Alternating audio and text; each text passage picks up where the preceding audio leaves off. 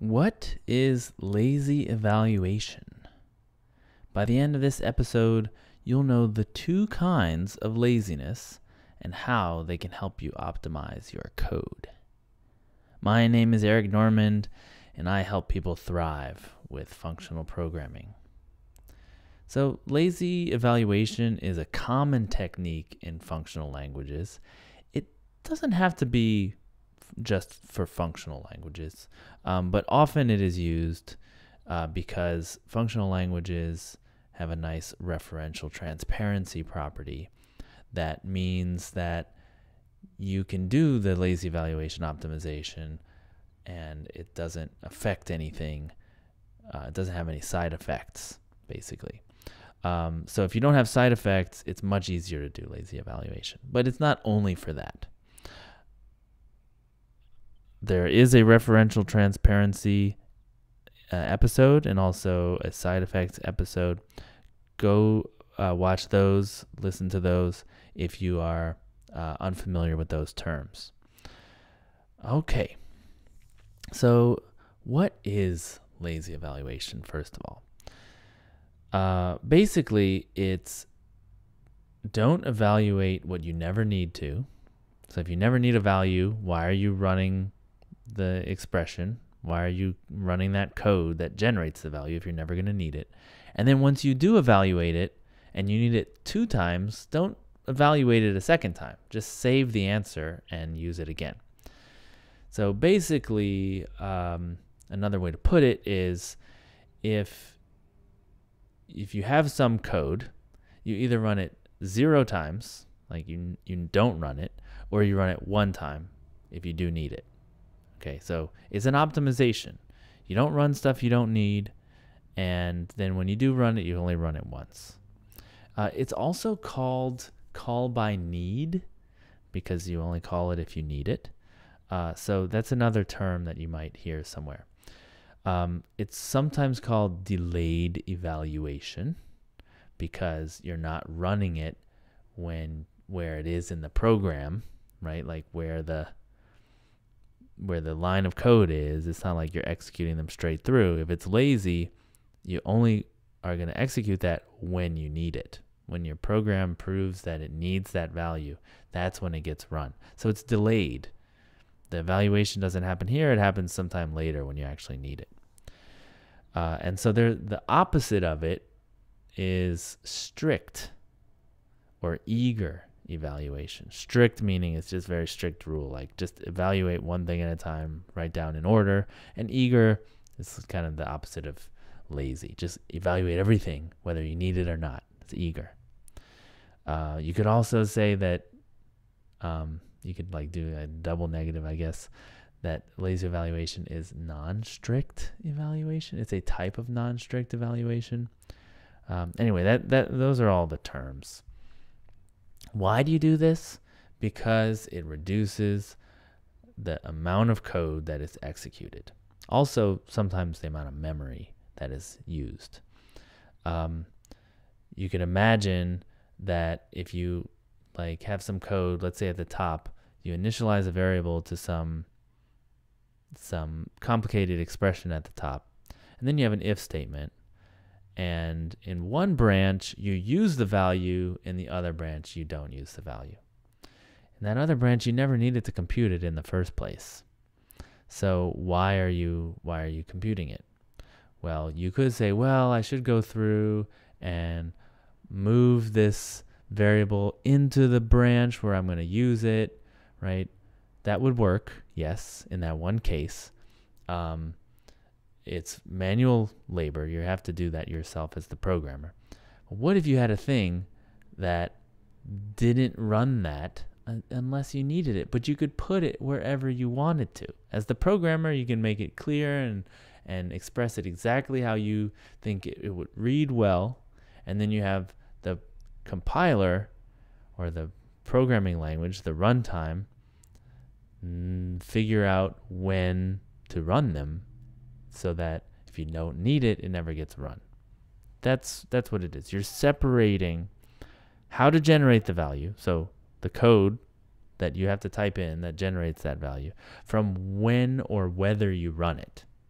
because you might not need to run that code.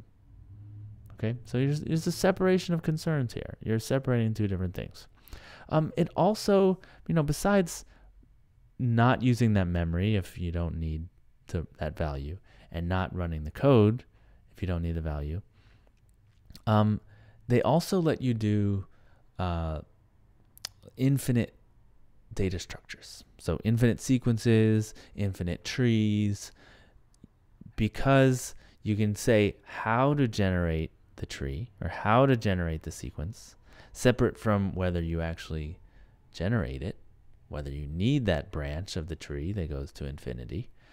Uh, because you can separate those out, um, this tree is virtually infinite. Like any branch you go down will never end, but obviously you can't actually generate that because you would run out of memory and it would take infinite time.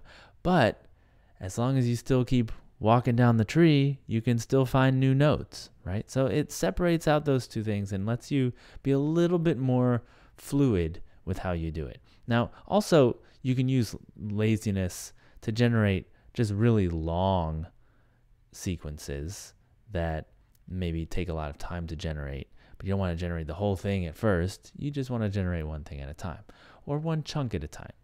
So, one thing I use lazy sequences for in Clojure is I can request pages from the database. Let's say I have a table that's like 10 million rows. So I want to get them 100 at a time, but I don't want to have the logic of like how to request the next page, you know, like adding some SQL stuff like limit and offset and stuff like that. I just want a sequence that has all of them in it but it's a lazy concatenation of chunks of 100 right so i'm i'm i'm able to make a sequence that does fetch all of them eventually but then where i consume that sequence i can just stop when i don't need any more okay and i don't actually make all the requests to the database only the ones i need so you're separating things out. It's actually a pretty cool little technique. Okay. Um, there are two types of evalu- uh, lazy evaluation. One is explicit and one is implicit. Explicit means that you, the programmer, have control of which expression to delay, right? Which expression is going to be lazy. Um, usually uh, this is called delay. So you run, you call delay and you give it some code, and then that returns a delayed value. And you can somehow call a method on it or call some function on it to tell it, okay, I need the value now. So give it to me. Compute it and give it to me. Or if you've already computed it, just give me the cached version, right? Um, implicit means that your language just does it for you without without you know telling you or you don't have to say anything so for example haskell has this it is a it is pervasively lazy so all the code in haskell is lazy just about and um, that means that you never have to worry about delaying something and wondering, oh, in this branch it might not get run, so I shouldn't put it here. You never think about that. It's the whole language is lazy. Clojure sequences are lazy. So if you call map on a sequence, you will get a lazy sequence back. So nothing actually happens except creating the delay, creating the lazy sequence, just the one, you know, pointer to like, okay, here's here's where to start. Um, that gets created when you call map. And then when you actually consume the result of the map, that is when the work happens and the sequence is generated.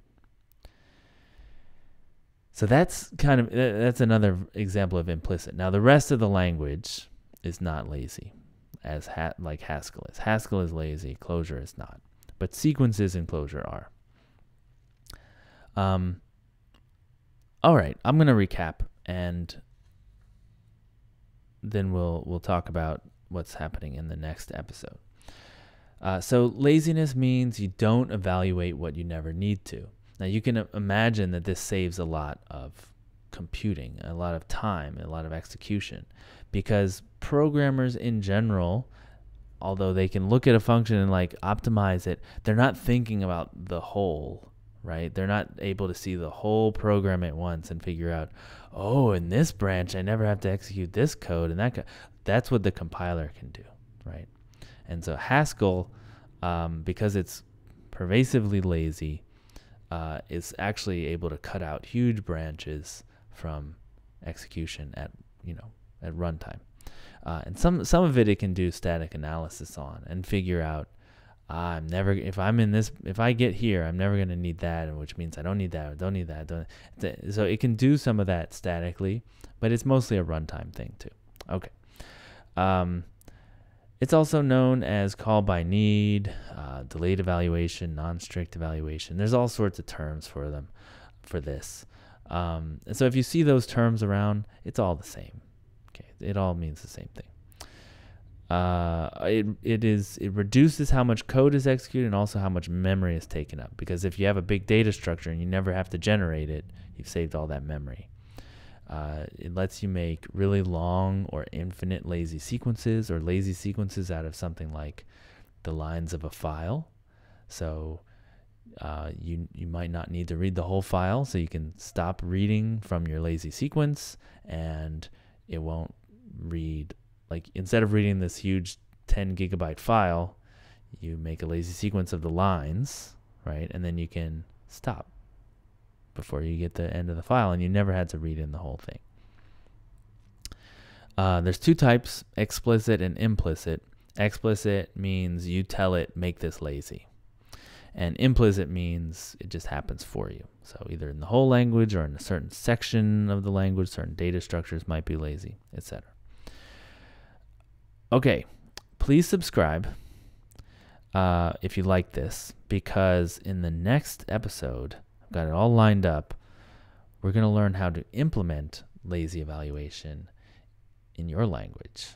So if this is intriguing, uh, then you should subscribe. Um, also, if you have any questions, any comments, please email me.